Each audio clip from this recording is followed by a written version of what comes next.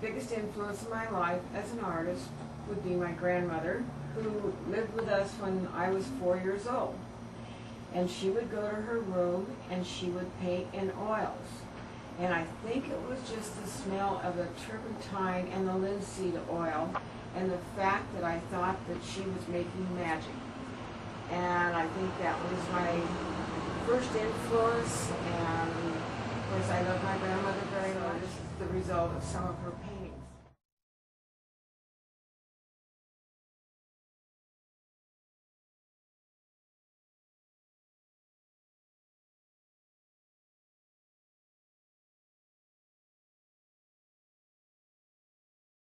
Nothing is still the same.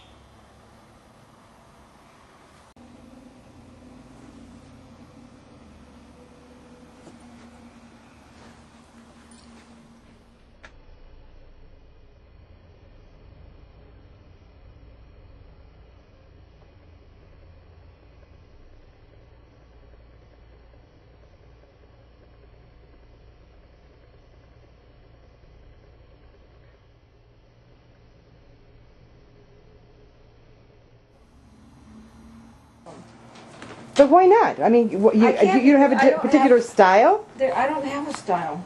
I, I go all over the place. But what kind of an artist are you? I don't know. Jack of all trades, master of absolutely nothing. I can't define my art because I don't know. I'm still working on it. I'm just now arriving. I'm just now kind of getting there. This is after, oh, I'd say about 60 years of farting around with it.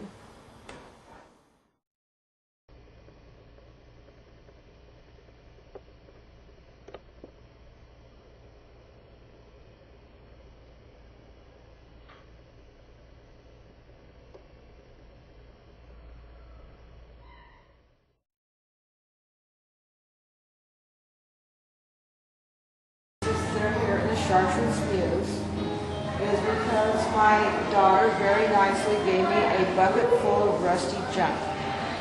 And it had been sitting around my studio for quite some time and um, finally I decided to do something with them and I started playing and uh, I didn't seem to have any problem. I would just pick up a piece that would remind me of something and I would just build on it. Um, they just kind of spoke to me and I just moved things along and different people would come out, different things would come out. Um, I, I would say that I just let them speak to me. I just had, uh, well, for instance, this one here, this one up here just uh, looked like a face and so I just found another piece, made the hat, and uh, I call it this the next one over um, is the bird, and it just happened to be a piece that had a long, looked like a long neck on it, and I just elaborated on that and added like some kind of a goony-looking bird. There's nothing um, about these things. There's nothing sacred. I was just playing and just having fun. I, I like rusty things. Uh, the reason I think that I like rusty stuff is because I was raised on a ranch that had a blacksmith shop, and there were always um, a big pile of rusty iron and scraps of metal and things, and so I just maybe that's why I'm attracted to this rusty junk. I, I really like rusty junk. Two spray cans that are flattened out, and they look like eyes to me, and uh, so that became a dog. This one here uh, doesn't really have any rust in it at all. It's a gel medium that I uh, just started playing with recently. It has elements of collage in it, and uh, I've just really been having a really good time with that.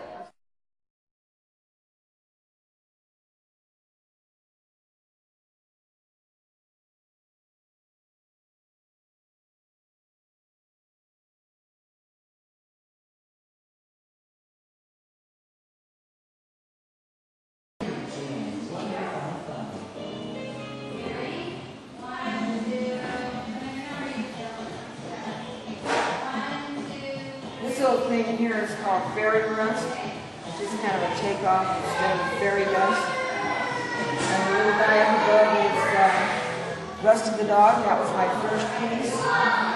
Um, I had a lot of fun with him. The piece back here is called Cannon Fodder. And that's my protest against war because I feel like we just raise babies like cannon fodder. Um, we just take them and use them up they feel like it. Sometimes not for a very good cause, sometimes it's a good cause. Anyway, that's uh, the extent of what I have here today.